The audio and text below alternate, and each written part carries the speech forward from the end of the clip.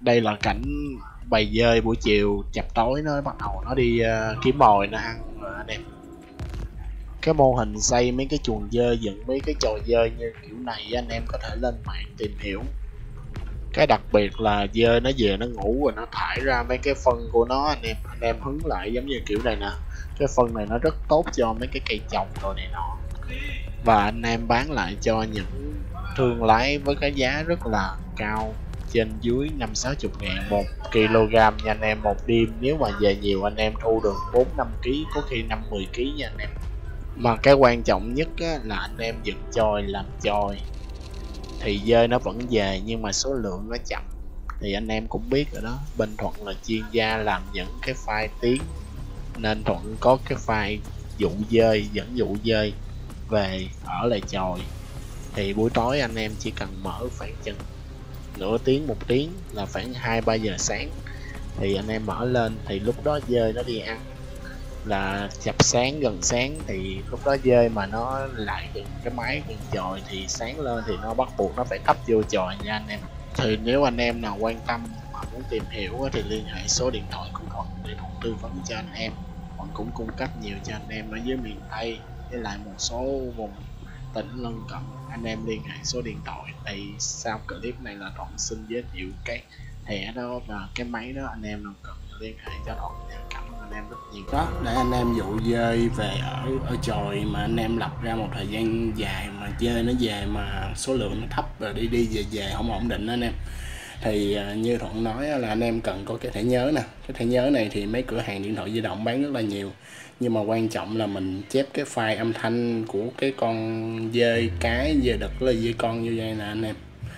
Thì ngoài thẻ nhớ ra, nếu anh em thích USB thì có USB thì đây là số điện thoại của Thuận và đây là cái kênh YouTube săn bẫy của Thuận.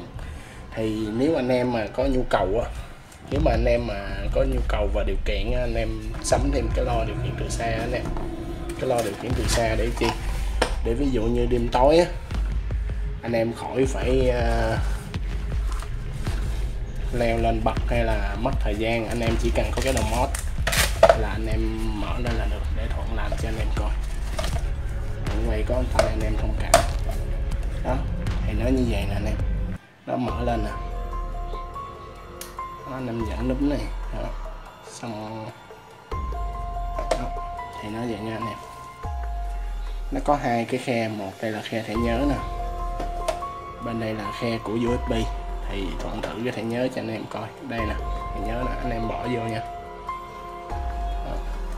đút vô đây. Đó. thì đây là cái đầu mod này nè.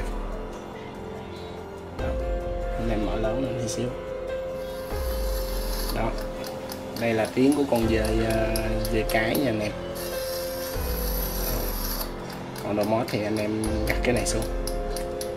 Anh em có thể là dùng đồ mod này, anh em có thể ở nhà cách xa chòi khoảng chừng 3 đến 500 mét vẫn được nha anh em. Anh em chỉ cần nằm trong nhà khoảng 1 2 giờ đêm hay 3 4 giờ sáng, anh em bật tắt thôi. Ví dụ tắt nè.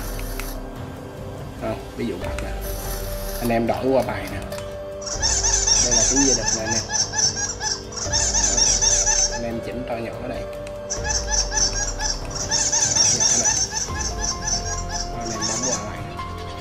là dây con dây con này nè đó, thì như vậy thôi.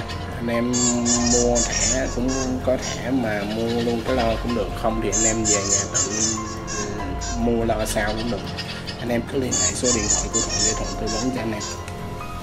Thì theo đó thì nó kèm theo là có cái cục sạc rồi túi đựng đồ này nọ. Anh em chỉ bỏ cái lo lên trời thôi. Cảm ơn anh em.